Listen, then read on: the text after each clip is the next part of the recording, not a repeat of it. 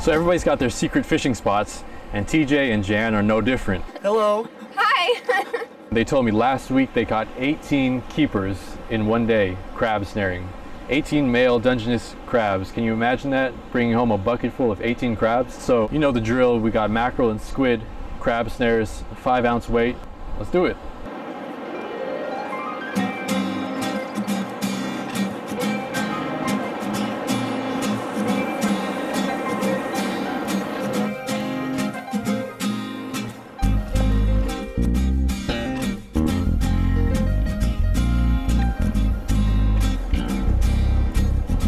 Good. Yeah, these guys are big. Nice, dude. Your odds of catching a fish are a lot better when your bait's in the water. Might be short. Oh, a little short. A little short. Oh, good, oh, good. Check this guy out. Just small by two millimeters. And somebody correct me if I'm wrong, but I'm pretty sure if you get caught with an illegal sized Dungeness crab, it's a thousand dollar fine. Is that right? So even if it's just two two millimeters, one millimeter, you don't even want to risk it. So throw that guy back. Oh, crabby! Yay! Another one. Oh, good catch.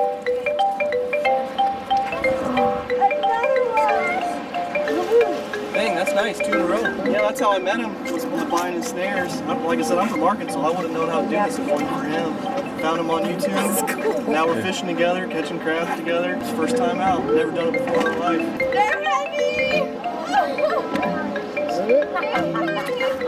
So, so this is a male because its carapace is real thin. The female's this part will be wide. Also, if you look at his colors, he's wider. Flip over. See how he's real purple and orangey? Yeah. So like a female will be more brown. Put it in there. Oh, go crazy. Subscribe.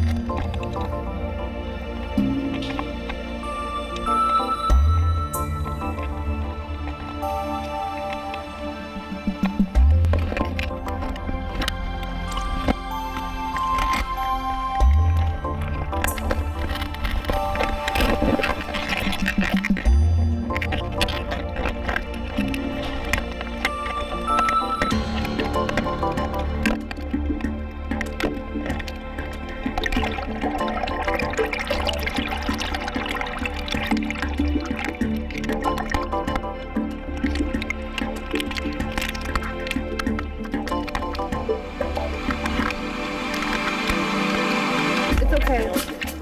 It's okay. You're doing.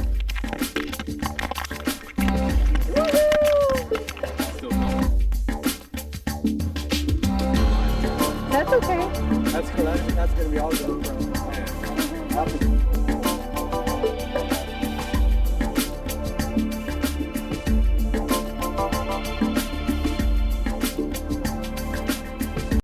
Subscribe. subscribe to crab, Dungeness crab fishing. As you can see that his heart is still beating. Now if you were in a survival situation, you wouldn't let any of this fish go to waste.